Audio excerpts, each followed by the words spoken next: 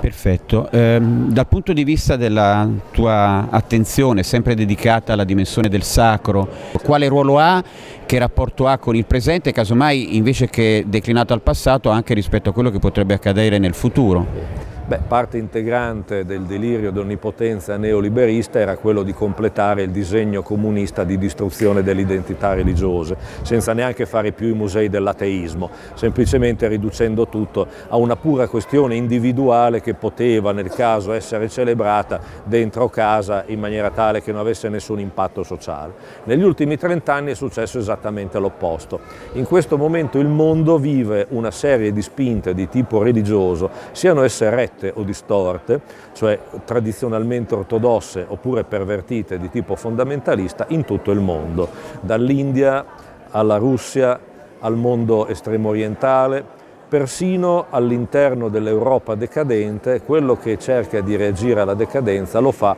in nome di una serie di valori di lungo periodo, una volta, un periodo, una volta si sarebbe detto non negoziabili, che hanno una chiara radice tradizionale cristiana. Quindi questo è il momento in cui lo spessore religioso, la tradizione religiosa dell'umanità riemerge dalle rovine del neoliberismo decadente e noi dobbiamo solo aiutare questo dialogo tra le diverse tradizioni religiose perché da un mutuo aiuto a livello planetario viene una forte risposta alla pretesa neoliberista di continuare la sua ipoteca sul mondo.